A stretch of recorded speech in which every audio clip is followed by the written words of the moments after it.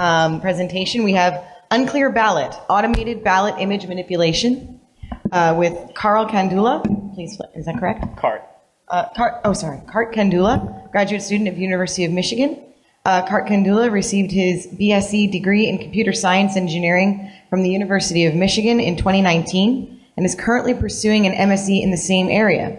He's, he conducts research in the UM Security Lab under the supervision of Professor J. Alex Halderman.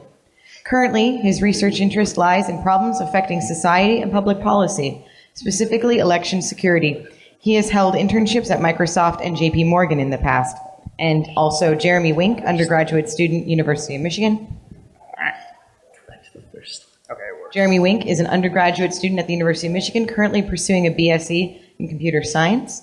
He has taken multiple security courses and spent time researching, uh, researching topics surrounding election cybersecurity, also under J. Alex Halderman.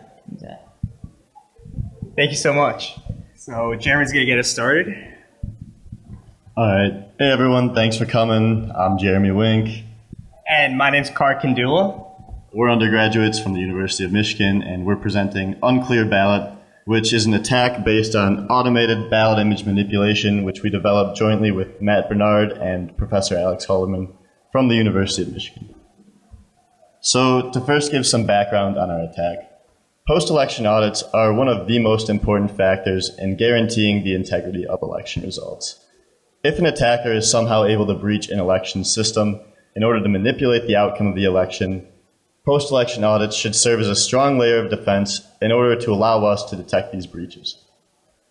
There are several types of post election audits, including risk limiting audits, in which a small random sample of paper ballots are inspected in order to give us statistically significant results. Another type of post election audit is an image audit. In this case, an audit is conducted not on physical paper ballots, but instead on images of the, of the ballots which are taken when the ballots are originally scanned. Uh, this tends to be quicker and a lot more convenient than actually looking through the paper ballots. So this type of audit has been gaining a lot of popularity in recent years and was actually used by the state of Maryland following the 2016 presidential election. This is pretty scary because it turns out this type of audit actually does not hold up under adversarial conditions. If an attacker is able to breach an election system in order to manipulate the results of an election, they could just as easily get access to these digital images of the ballots. If they were then able to manipulate these ballot images in order to change the apparent votes within them, then image audits would offer zero security whatsoever and would effectively be useless. To demonstrate this vulnerability, we've developed an attack which focuses on automatically altering ballot images to change the votes within them. This attack targets tabulation machines which have been shown in the past to not be the most secure devices, and in fact, numerous vulnerabilities have been documented in the past demonstrating how an attacker could potentially infiltrate these voting machines. The strategy of our attack is simple alter the votes within a ballot image in a way that is both undetectable and also consistent with the voter's original markings. In order to do this, we leveraged a variety of computer vision techniques operating under the assumption that the attacker knows what the ballot looks like in advance. This is a pretty reasonable assumption to make, considering many jurisdictions publish sample ballots well ahead of the actual elections. The first step in our attack is to extract bounding boxes around the individual races within the ballot. This can be done by using a template match with a blank copy of the original ballot. The next step in the attack is to extract bounding boxes around the individual names and vote bubbles of each candidate. This is typically done with the Hough line transform, which you can picture here in the slides. For some ballot styles, the title of the race needs to be separated from the top candidate's name in order to prevent the title of the race from interfering with the rest of the attack. This can be done by running a vertical sweep on the image and using pixel intensities to find an area of white space above the candidate's name. It's also worth noting here that the exact algorithm used in this attack varies slightly from ballot style to ballot style, but these same techniques are used pretty consistently across the board. The final step in the attack is to extract bounding boxes around the actual vote bubbles corresponding to each candidate. This is done by using a series of linear sweeps across the image once again using pixel intensities to determine the boundaries of the vote bubbles. Once we've extracted bounding boxes around the vote bubbles of every candidate, all we need to do to alter the votes within the image is simply swap the pixels between bounding boxes.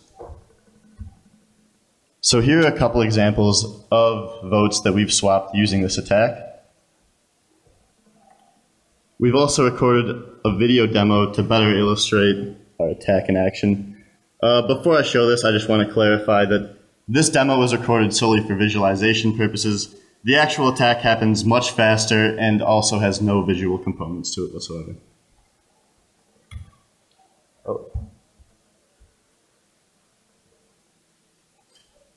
So here we have our target ballot. We first use a template match to extract the individual races within the ballot. Once we've done this, we use a Hough-line transform to separate the individual candidates.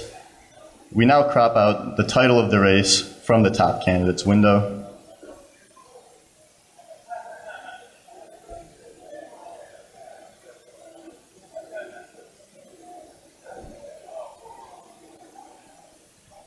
Once we've done this, we can extract the bounding boxes around each candidate's vote bubble by using a series of linear sweeps.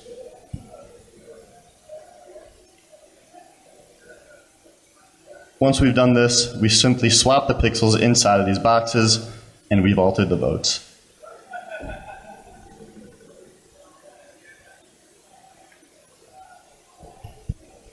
So I'll now be passing it off to Cart to talk further about our attack. Thank you, Jeremy.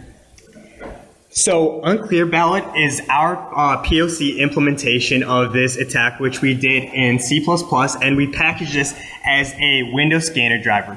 We also tested this on the Fujitsu FI 7180 scanner, which is an EAC certified, which is certified by the EAC for use in elections as part of Clear Ballot's Clear Vote system. So our malicious microdriver uh, wraps around the original driver for the Fujitsu scanner and serves as an interface between the actual scanner and the uh, election administration, uh, the election administration software, as shown in the image at the bottom of the slide. So to ensure the versatility of our attack, we tested it across six different ballot styles. Four of these are in use by the largest election vendors in the US. These are ES&S, HART, Dominion, and also Clear Ballot. We also use two older styles of ballot from Hart and Diebold. So uh, you can see all, all six of those styles on the slide. So to test our attack, we prepared 720 marked contests using the Bajcsy systemization, 120 per each of the ballot styles shown in the slide previously.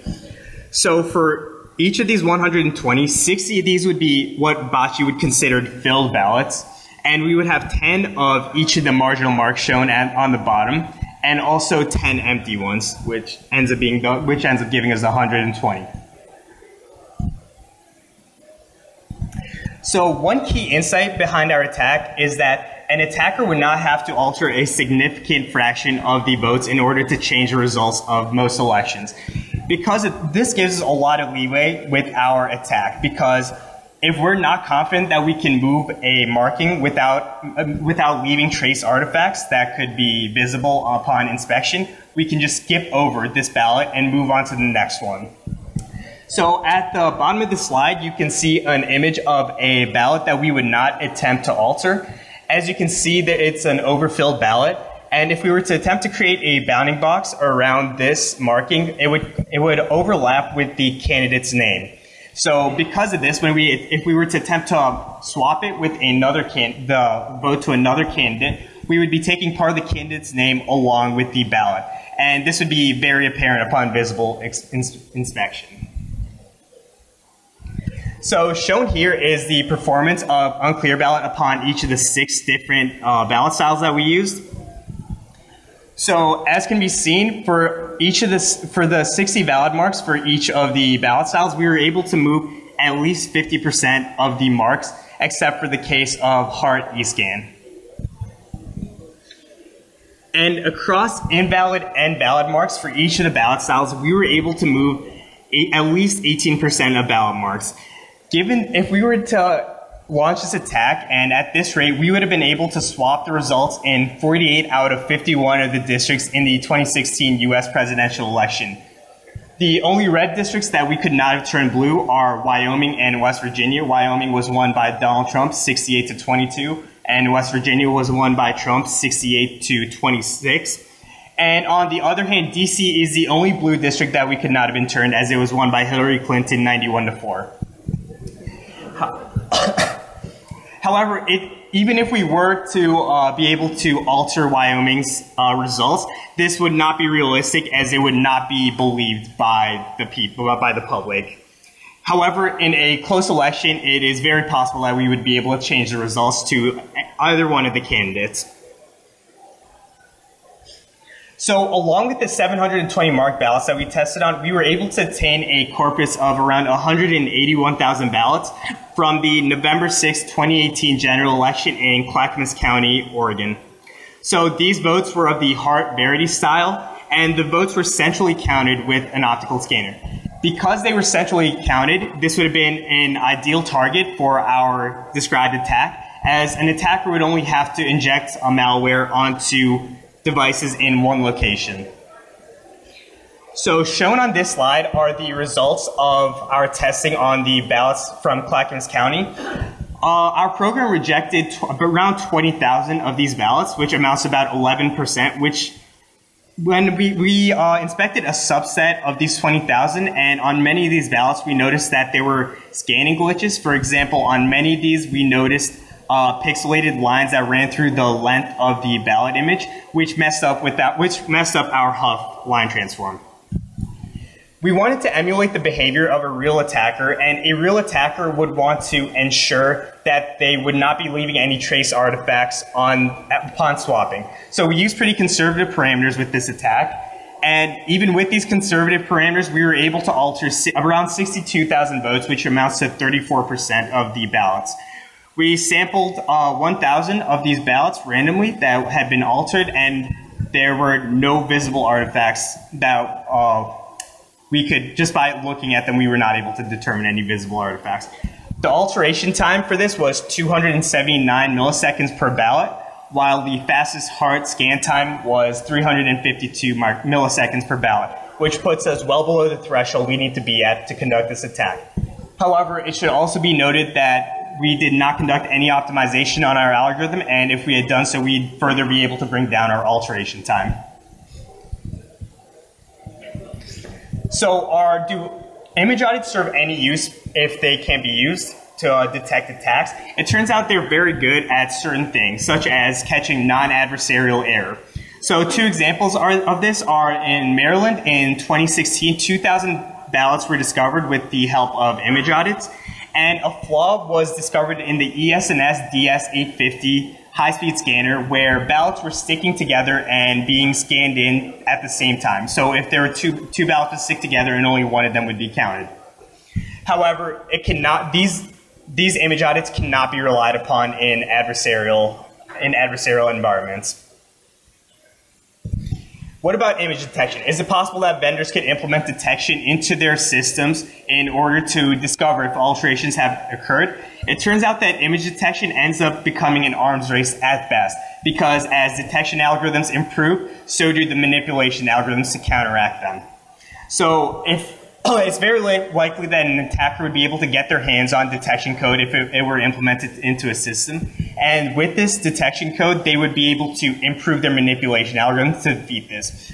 Another thing that an attacker could do to defeat a detection algorithm is they could use it as part of their mark moving algorithm. So let's say uh, let's say our attacker has a ballot and they they alter the ballot with their algorithm. They would then run that the altered ballot through the detection algorithm, and if the detection algorithm detects that it's been altered, they would skip the ballot and just move on. But uh, like even like regardless of any of this, to our knowledge, no election vendor in the U.S. has even minimal image detection in their systems today. So how can we protect against this? The best solution is to use risk limiting audits where people are looking at physical ballots. This system is like you with these risk limiting audits, you ensure that the process is fully software independent and cannot be manipulated at any point. These risk limiting audits ensure that there's a high probability of detecting errors, there's a high probability of detecting fraud, and also of error. And even if every single machine in the voting system is infected, you will still be able to find, you will still be able to determine whether there an alteration has occurred. So what do we take away from this? These image audits can, and it, so image audits involve checking digital photos of ballots rather than the actual physical ballots. However, as we have shown, an attacker can use computer vision methods to automatically alter and manipulate these images and move, change the results to their desired candidates. We implemented this with an EAC certified scanner, the Fujitsu FI7180 scanner. And this, this scanner is part of Clear Ballot's, sorry, Clear ClearVote system. And we showed that our attack works across um, all the like ballot styles from all major vendors in the US. The best defense against this, against this is for people to audit the ballots physically. So the work that we presented today, it, we compiled into a research paper, and this will be presented at eVote ID, and it, the, also known as the International Joint Conference of Electronic Voting. And for the, we're releasing it to the public today on these two links. So if you go to those links right now, you can have you can access the full papers. So we'll now be opening up the floor to any questions. Yeah. Yeah. I'll go ahead. Oh, yes, having having actually hacked voting machines, one of the things that I would like to ask you is if you took the images and compared them to the actual ballot, you'd find the attack, wouldn't you? Com- yeah, you would. If you if you compare to the physical ballot. Same thing that we found in the Hursti attack, the, the Hursti hack. Basically, it only worked if you didn't examine the actual paper at all. Yeah. If you examined a portion of the ballots against the images using the clear ballot, this attack would fail, wouldn't it? This would. Yes, it would. Okay, thank you. Which is which is why you need at some point you need to go back to the physical ballots. That is correct. Yeah. Great work. Um, one minor technical question. Um, it seems from what you described that the bounding boxes around um, marked bubbles boxes would probably be larger than the bounding boxes around unmarked. Um, so how do you swap the pixels between bounding boxes? Do you want to take this one? So there is logic in place to normalize the size between all of the bounding boxes for like an individual race. I certainly believe it's possible. Oh yeah.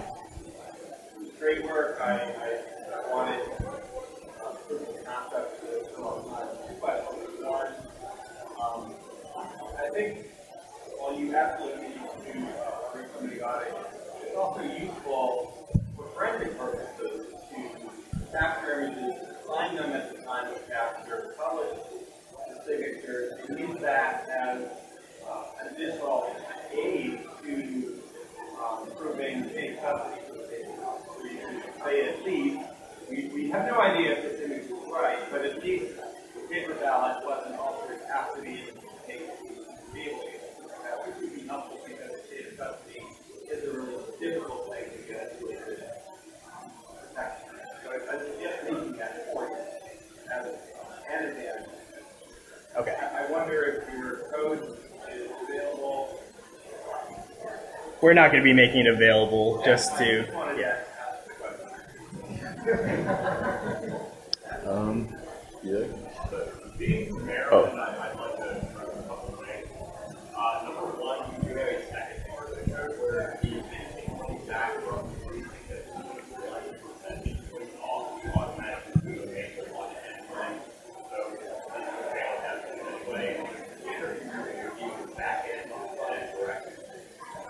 Don't do that.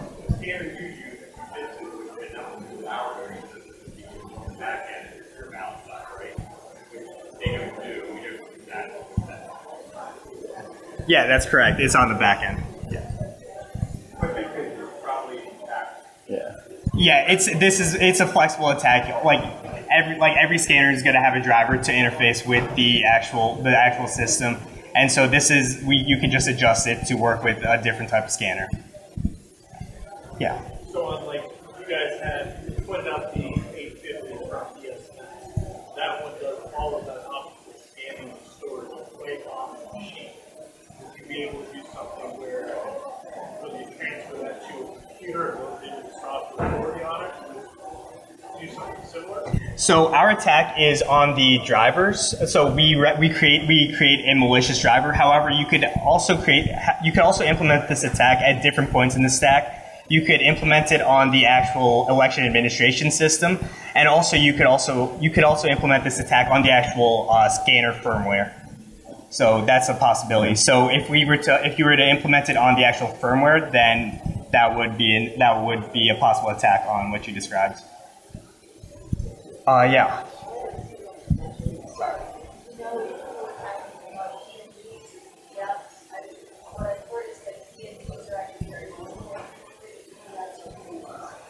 we were manipulating the bitmaps that were that are returned at to the that are returned from the actual Fujitsu driver. So before they're rendered as any type of actual image, they're uh, they are we get there's a stream of bitmap data.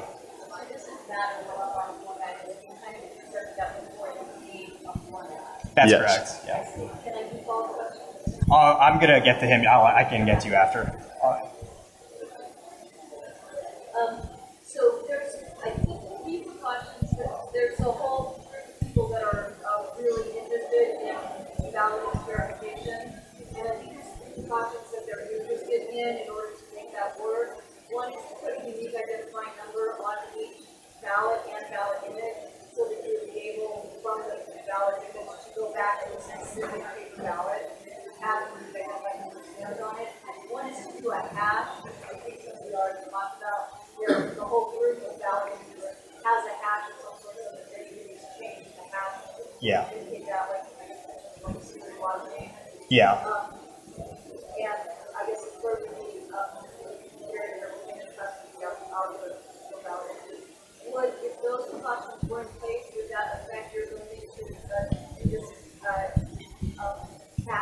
So you're ta- you you mentioned a hash. Um, for the hash to be secured, you'd have to ensure that the it, the key that's being used with the hash is also secured. That what it's being hashed with is um, also um, not publicly available, and it's possible that an attacker would be able to get that and recreate a hash for their the manipulated ballot.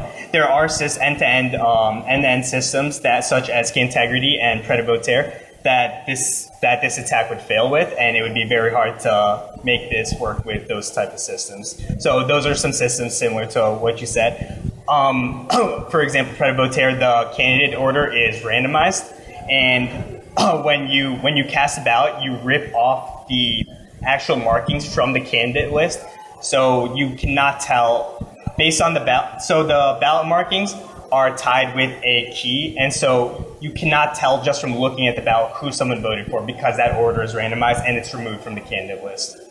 Those ballots before actually like audit by hand, because they don't actually have the. That's true, but with such a system, you could create a public bulletin for users to uh, verify their votes. However, that then you run into issues of selling votes. Yeah. Not with Predivote? Okay. Uh, my apologies. Uh, Professor Benaloh pro- no, definitely knows better. Yeah. So that you that would not be an issue actually. Uh, yes.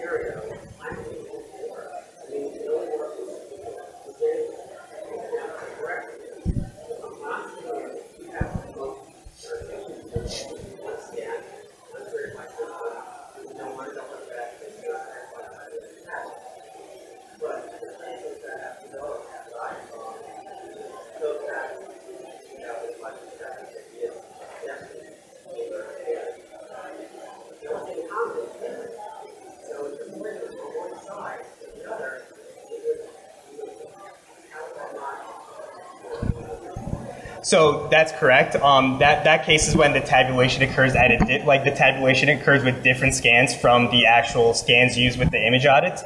However, with something like that, it would have to you have you would have to attack both the systems and somehow coordinate it to ensure that you're getting these same results with the attack. That would be a little bit that would be a more complicated scenario. However, um, our attack focuses on if the tabulation if the scan for the tabulation and the image audits occurs at the same time. Yeah. The reason why it's clear about that is because it's clear about my understanding was it's clear ballot, and they changed their software, their systems. They weren't in the locally, there was a money, and it was when it's verified based on having underlying paper records. Yeah. And it's more granular, accounting like process, goes to estimation process. Now, it's very pleasant, but how good is good enough, and you want to check those. And, um, sometimes in really big jurisdictions, was larger than that. You know, originally audit will not get to the finish line, in the timeline. If you start a whole new count, you're not going to do audit. So, you know, I mean, I know, I know, I know what alcohol does too. I know why it's so bad, your ballot. I know why it's attacking the electric ballot. But I just want to say, it's, it's it's not one ballot, it's, it's, it's out there. And in some years, they are used, you know, and they have resolved it. Well, people know, they have, it's not much thing, but, you know, they have resolved very quickly without the data, without the data. So I I just want to say that prior to that. Any other questions? Oh yeah. Oh yeah, we have time.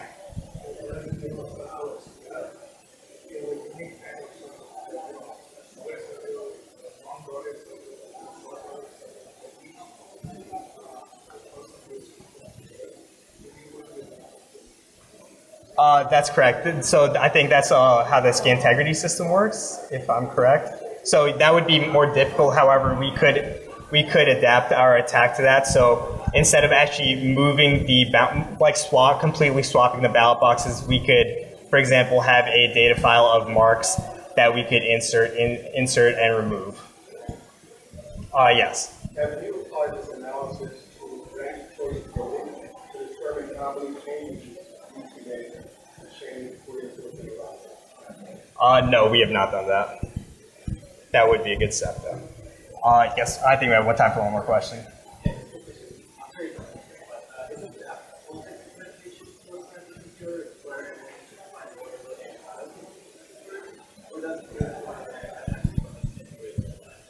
To attack the voting machine? It's a post-exploitation tool, so we're assuming that someone has has hacked the machine, which there's like, um, which is very possible. There's a, a lot of publications regarding that. Yeah. Um, I think that's all we have time for. Thank you, everyone, for coming.